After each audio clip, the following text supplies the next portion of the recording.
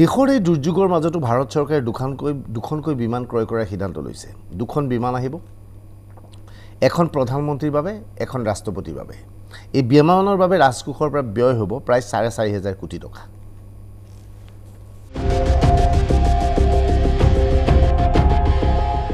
কৰোণাৰ এই দুৰ্যোগৰ মাজত ভাৰত চৰকাৰে ক্ৰয় কৰিব ওলাইছে দুখনকৈ বিশেষ বিমান।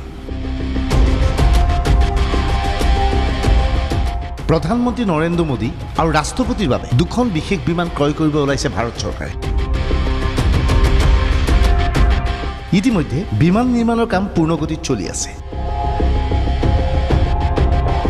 প্ৰধানমন্ত্ৰী অথবা ৰাষ্ট্ৰপতিয়ে বিদেশ ভ্ৰমণৰ সময়ত বিশেষ বিমান যাতে ব্যৱহাৰ কৰিব পাৰে তাৰ বাবে এই বিমান নিৰ্মাণৰ প্ৰস্তুতি।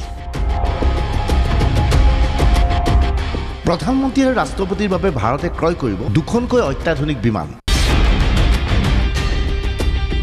এই বিমানৰ বাবদ ব্যয় হ'ব চাৰি হাজাৰ পাঁচশ কোটি টকা। আমেৰিকাৰ ৰাষ্ট্ৰপতি এয়াৰফ'ৰ্চ ওৱানৰ লেখীয়া হ'ব দেশৰ ৰাষ্ট্ৰপতি আৰু প্ৰধানমন্ত্ৰীৰ বিমান। বৰ্তমান সময়ত প্ৰধানমন্ত্ৰী অথবা ৰাষ্ট্ৰপতিয়ে বিদেশ যাত্ৰা যেতিয়াই কৰে তেতিয়াই ব্যৱহাৰ কৰে এয়াৰ ইণ্ডিয়াৰ বিমান। সাধাৰণতে এই বিমানখনো বাণিজ্যিক কামত ব্যৱহৃত হয়। কিন্তু প্ৰধানমন্ত্ৰী আৰু ৰাষ্ট্ৰপতিৰ ভ্ৰমণৰ সময়ত এই বিমান প্ৰধানমন্ত্ৰী বা ৰাষ্ট্ৰপতিৰ বাবে আছুতীয়াকৈ ৰখা হয়। এই বিমানত সাংঘাতিক সুবিধা নাথাকে। প্ৰধানমন্ত্ৰী অথবা ৰাষ্ট্ৰপতিয়ে বিদেশ ভ্ৰমণৰ সময়ত আমেৰিকাৰ ৰাষ্ট্ৰপতিৰ দৰে সমানেই যাতে সুবিধা পায় তাৰ বাবে নতুন ব্যৱস্থা গ্ৰহণ কৰা হৈছে। আমি সকলোৱে জানো আমেৰিকা যুক্তৰাষ্ট্ৰৰ ৰাষ্ট্ৰপতিৰ বিমানখনক বিশ্বৰ আটাইতকৈ উন্নত বিমান বুলি কোৱা হয়।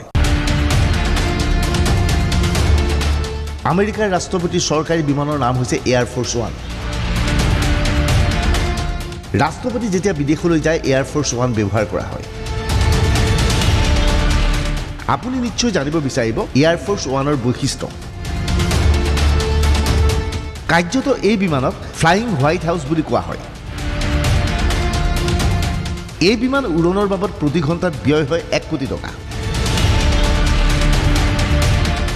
এই বিমানখনৰ উচ্চতা ছয় মহলীয়া এটা ঘৰৰ সমান। দীঘলে দুশ বত্ৰিছ আৰু বহলে তেষষ্ঠি ফুট। ঘণ্টাত নশ পঁয়ষষ্ঠি কিলোমিটাৰ বেগত যায় ট্ৰাম্পৰ বিমান। বিমানত ৰাডাৰ জাম কৰাৰ ব্যৱস্থা আছে। শত্ৰুৱে বিচাৰি নাপায় বিমানখন।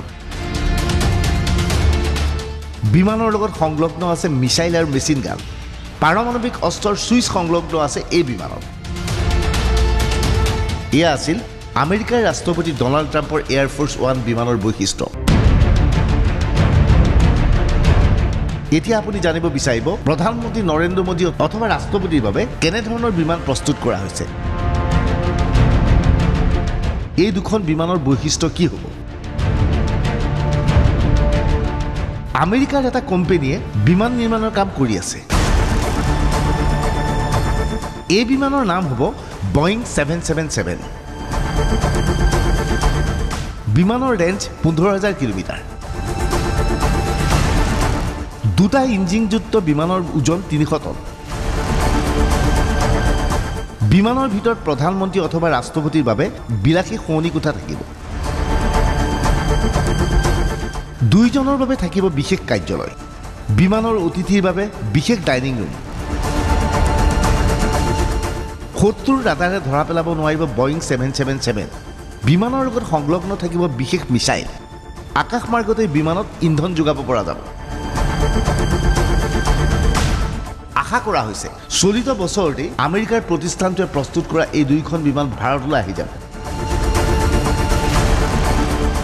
পৰৱৰ্তী সময়ত প্ৰধানমন্ত্ৰী অথবা ৰাষ্ট্ৰপতিয়ে এনে অত্যাধুনিক বিমানেৰে বিদেশ যাত্ৰা কৰিব পাৰিব। Bureau report Dubai three six five.